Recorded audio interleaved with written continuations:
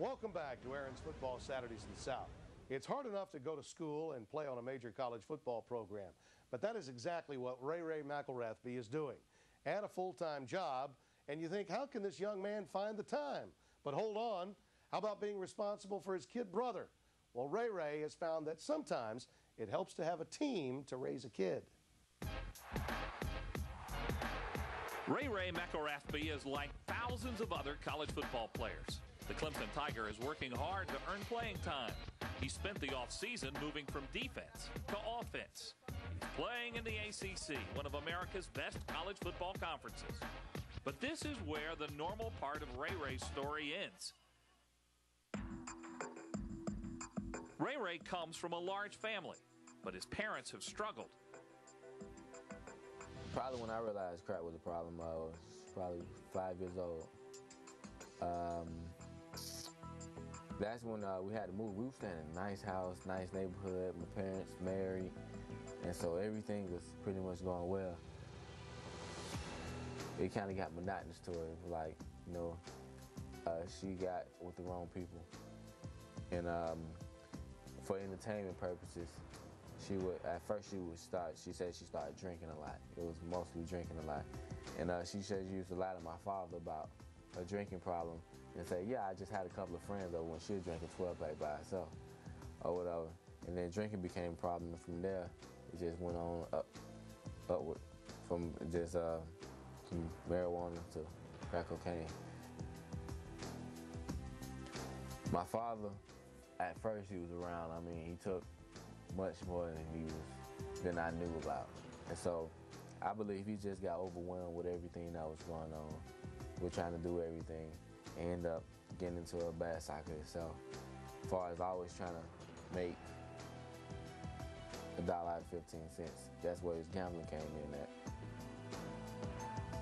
All that stuff that happened, it, it kind of drove me. It drove me to get out of the situation. And so if athletics was my escape, that's what I did to get away. If I didn't have nothing to get away from, I wouldn't have did as much as I did or tried as hard as I tried.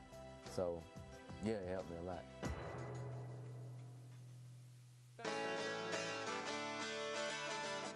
Ray Ray has the same struggles as most student athletes, keeping up with schoolwork, finding time for a social life. He's also a surrogate father to his little brother, Fahmarr. Fahmarr uh, came on a visit here to Clemson.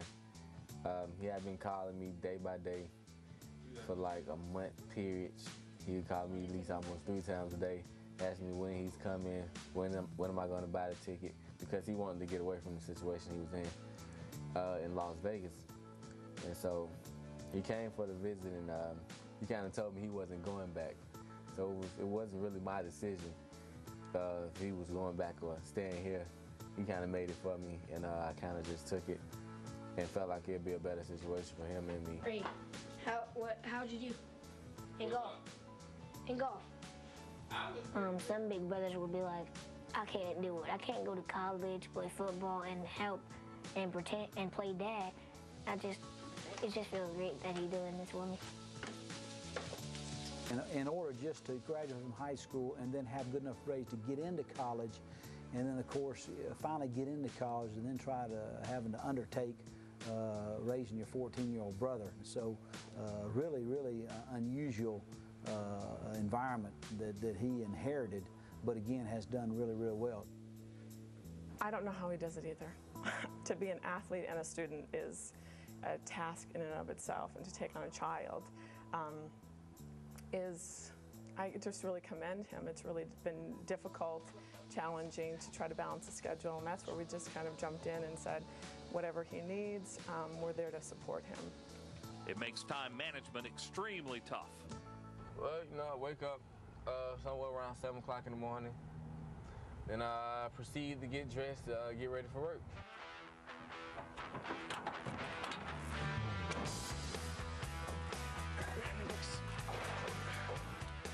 Working, I mean, working keeps my mind off of a lot of things. Staying busy keeps my mind off of just being able to sit there and dwell on my problems. Because, I mean, everybody has problems, so you just, that's, that's my way of not dealing with my problems because I mean some things I can't I can't control and I gotta learn that, so I do other things to keep my mind off of it. Everybody in my family struggling. It's what we always been doing, struggling.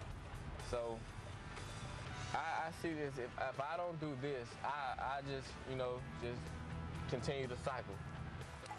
These are my struggles. I go through my struggles so they won't have to go through theirs, I would say. One, two, three, hard!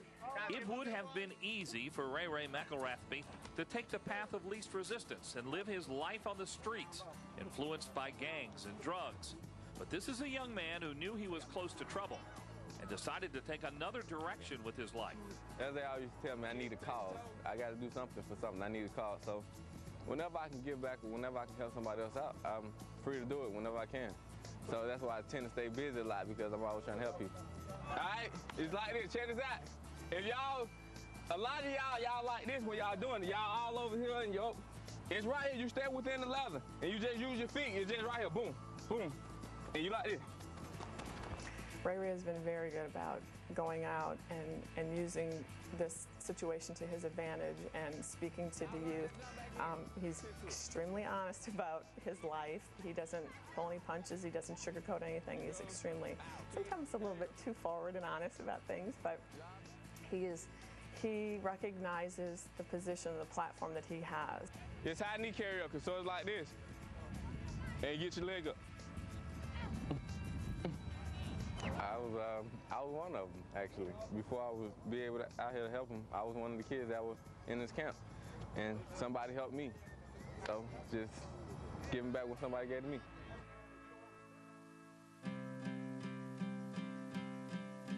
While the boy's mom works to get her life together, life continues in Clemson.